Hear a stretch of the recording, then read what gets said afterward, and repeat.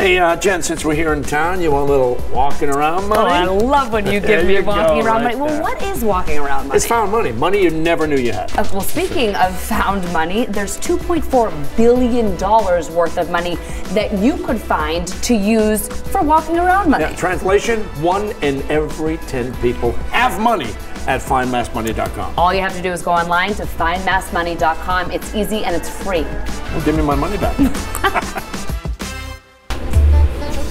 okay, and here are the Druckers, Amy and Billy. Good to see you, Billy. How Nice to are you? you. Amy, nice to see you. Let's see you too. Uh, you guys made us come to Porter Cafe.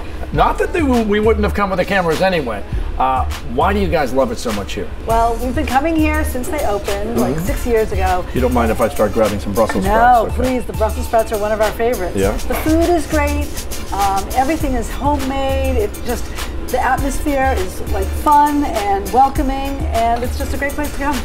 It's easy for us when we're looking for somewhere to go for dinner and really don't have any plans. We can just kind of pop in. Mm-hmm. We know the food's always going to be good, and the staff is always friendly and helpful, and that's why we keep coming back. Now, when you come, I know the dishes we have in front of you. Are these the t- dishes that you tend to go to most of the time, Bill? Sometimes, you know, I like to try different things on the menu, although I've tried almost everything. But you were raving about the one in front of you. what Well, is it? This particular pork schnitzel with an apple coleslaw just has a fantastic taste, and it's filling, and I just enjoy eating it. It's a very opulent portion. I mean, portions are great here too. Well, Amy, start eating. Did I take your fork? Oh, you did. Uh, well, here, just dig that, and you'll never know the difference. Now, what are you having? So this is their bolognese, one of my favorites. The pasta's always al dente. It's just really well done. Would you mind passing some of the Sure. schnitzel? Would you like to Mr. try that?